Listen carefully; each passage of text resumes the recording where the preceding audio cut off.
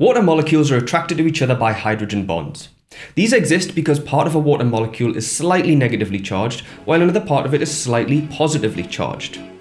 This might sound really trivial, but this little property of water is essential to life as we know it.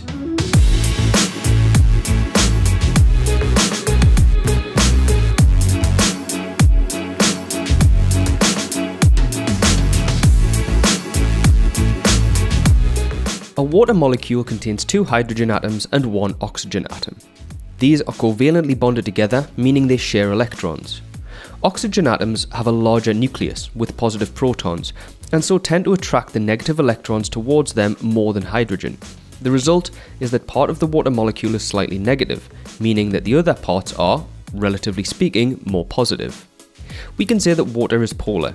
Just like the ends of a magnet or the poles on Earth, water molecules have opposing ends. In the case of water, there is one negative end and two positive ends.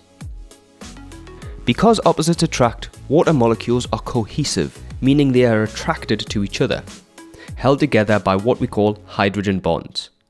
You can see this happening wherever you see a small quantity of water.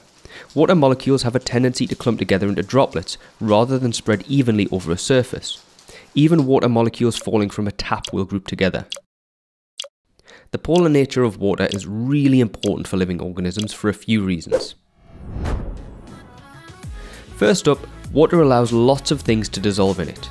If we take regular table salt, sodium chloride as an example, and drop it into water, the positive sodium ions separate from the negative chlorine ions. This can happen in water because of the way the positive and negative sides of the water molecules can arrange around the ions. If something can have materials dissolve in it, we call it a solvent, and because of the solvent property of water, it's a great liquid for transport of essential things like ions and glucose around living organisms. An increase in temperature within a material requires the molecules within it to move faster.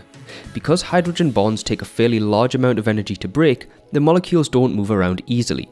This means that it takes a relatively large amount of energy to change the temperature of water. This is known as the specific heat capacity, and water has a high specific heat capacity.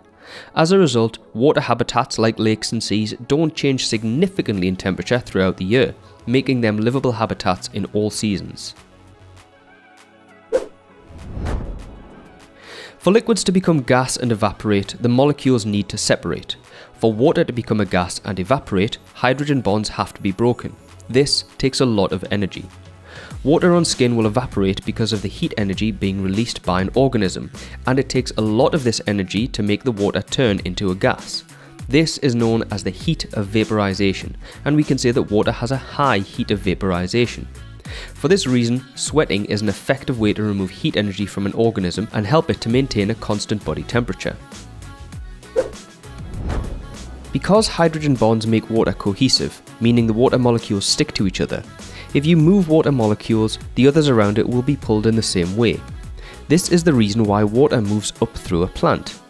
Water released by the leaves causes the molecules beneath to move upwards, causing a transpiration pull through the plant.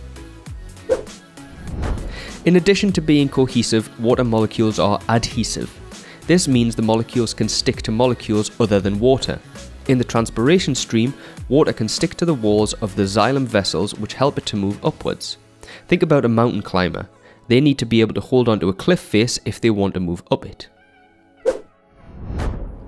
The top layer of molecules of water act like a sort of skin, preventing things from breaking in beyond the surface.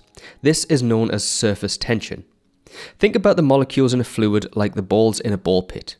A person who climbs into the ball pit can sink in.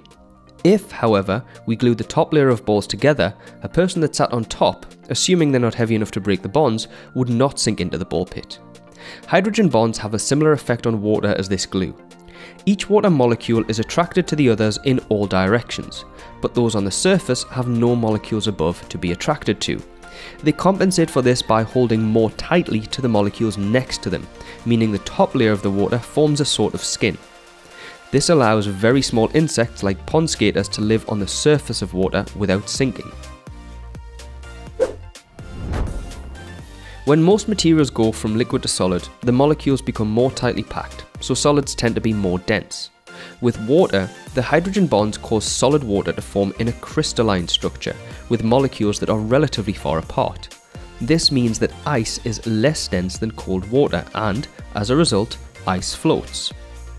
When temperatures are below freezing point, the ice which forms in a body of water floats and creates a layer at the top, insulating the water below. The area below the ice stays liquid and so the fish and other organisms are able to survive, even in freezing conditions. To recap, the polar nature of water gives it some important properties. It allows things to dissolve in it, it has a high specific heat capacity, it's got a high heat of vaporization, water molecules are cohesive, meaning they can stick to each other, they are adhesive, meaning they can stick to other things, Water has a high surface tension, and because hydrogen bonds force solid water to form in a crystalline structure, ice is less dense than water and therefore it floats.